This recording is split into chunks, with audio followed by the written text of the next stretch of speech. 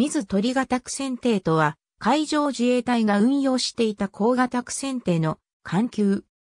1958年、1959年、1961年、1963年、及び1964年度計画において8隻が建造された。本型の船体設計は計画年度にして1年先行する海高型とほぼ同型であり、先行する昭和29年度計画艇の運用実績から高校性能を向上させるとともに設計を合理化したものとされている。なお基本設計については29年度艇では船舶設計協会が行っていたが、海高型より防衛庁技術研究所に移管されており、本型の計画番号は K103A であった。基本的には29年度計画をもとに大型化した設計であり、線形も同じ平艦一般型である。29年度艇では極端な薄板による精緻な設計が工数の増加を招いていたことから監守部は2.9から3.2ミリ圧であったものが4.5から6ミリに、また水線化も4.5ミリから8ミリに増圧したが、やはり全体に薄板構造であったことに変わりはなかった。また29年度程では、風圧側面積減少を図るため環境と甲板室が分離されていたが、後天時の館内連絡の便が悪くなり、また、館内の十分なスペースが確保できない等の欠点があったことから、本型では前後の上部構造物が一体化されて後天時にも容易に行き来できるようになった。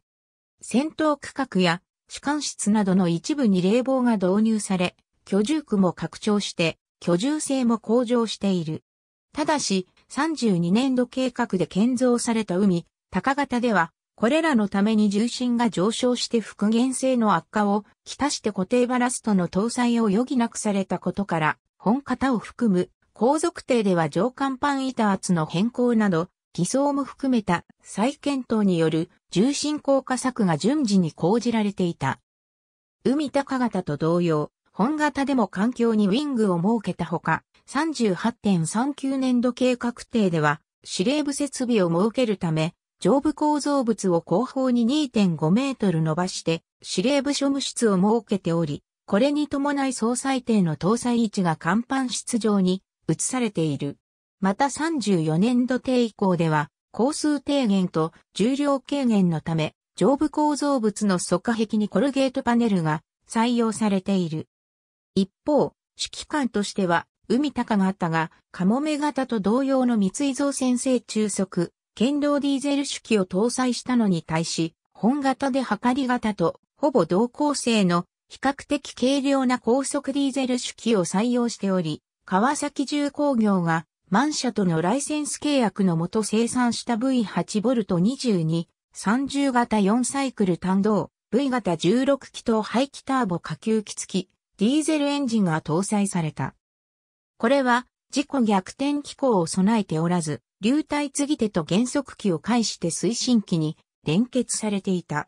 ソナーとしては29年度程と同じく 25.5kHz 級操作式の SQS-11A を 40mm 基準の直下の船底に装備した。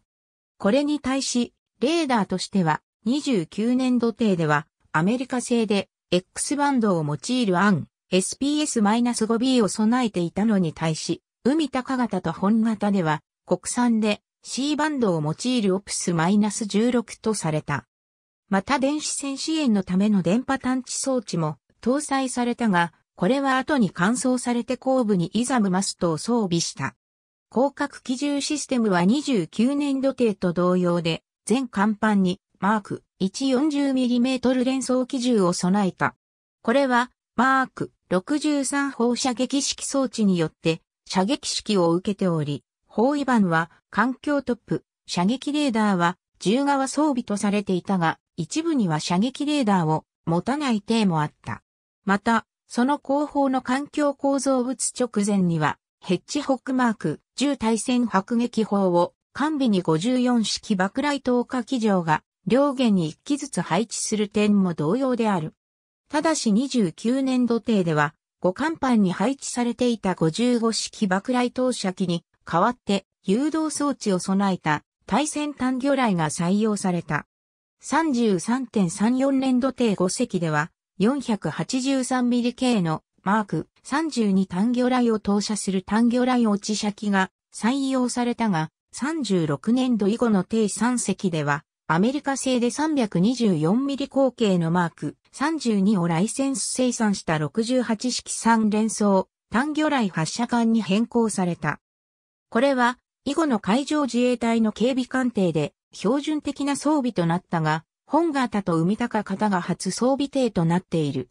1、2番艇、水鳥、山鳥と6番艇、海鳥、8番艇、日夜鳥の4隻は、舞鶴地方隊霊下に第4区戦隊を編成して活動した。一方、3から5番艇、大鳥、笠サ初狩りは佐世保地方隊第5区戦隊に7番艇、白鳥は大港地方隊第3区戦隊に編入されて活動した。なおこの間、1967年には大鳥にイギリス製のフィンスタビライザーが装備されて運用試験が行われたが、この実績が評価されて、フィンスタビライザーは、春名型及びそれ以降のヘリコプター搭載護衛艦の必須装備となった。その後、1981年から1987年に順次、特務艇に種別変更された。ただし、8番艇、日踊りのみ、甲板室の増設や、並走の撤去などの特別改装を受けて、船姿を一変させ、迎賓艇としての任務に就いた。東京湾にソ連戦を終え、白鳥が登場。相模湾で紹介中に国籍不明の潜水艦を探知し、追跡して爆雷とヘッジホックによる攻撃を行う。ありがとうございます。